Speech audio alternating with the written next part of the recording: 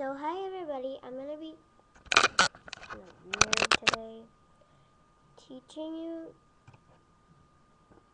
guys how to make flubber. Or I don't know flubber putty silly putty. Um, I'm just gonna so yeah how to make flubber. It's stretchy. And so this is the tools you'll be needing. And also, a lot of people use borax, but today I'm going to be using laundry detergent. So the first thing you're going to need is, it kind of bounces. See that? So yeah. First thing you're going to need is laundry detergent, and you don't need a lot. So yeah. We'll need some water and glue and something to mix with. The first thing we're going to do is take our laundry detergent and put however as much as goop we want. We want about this much. So yeah. And I'm using Elmer's glue all by the way.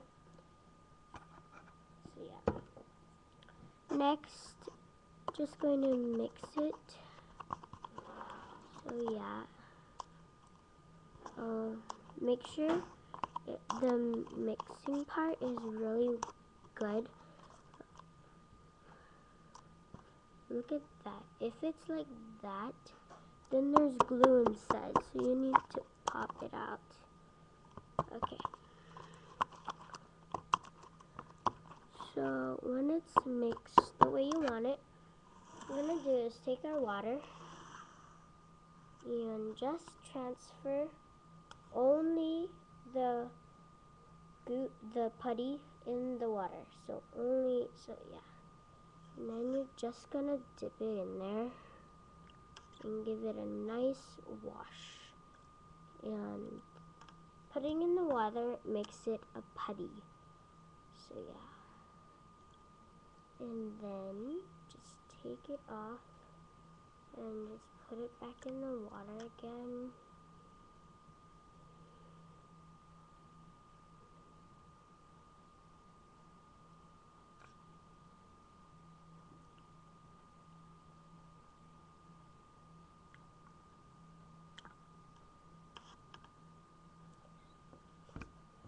And hold on everybody, I'm going to be right back.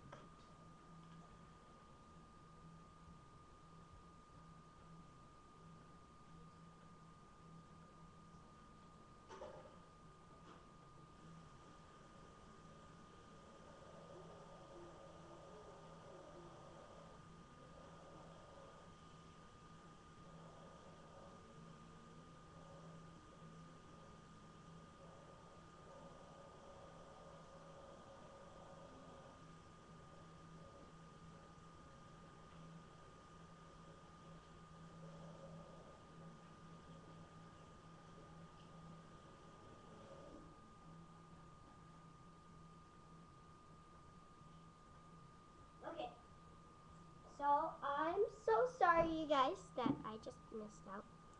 But now it should look like this after you washed it in water. It's stretchy. And just and see if dip it in the water and then go ahead in, in your sink and wash it out. Since it's wet, don't put like a paper towel and dry it out because it will stick to the paper towel and you don't want that. So just, it will dry it out by itself so, and then it will become like this. So this is the one I made. Um, is that hard to see? If it is, hold on. Just put my down, but yeah yeah, like I said, don't put it on paper, but I'm just putting a background so you guys can see. So now it's kind of, the air is drying it out by itself. It's becoming more of a putty. And I'm going to mix these together because they're both the same. to form a bigger one. And if you want to make a mold, what I'm going to do is just rip off a piece of this. Just flatten it down.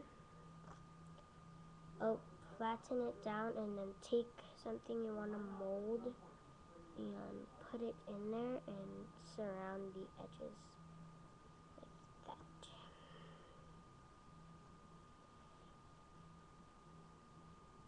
Hopefully it will come out.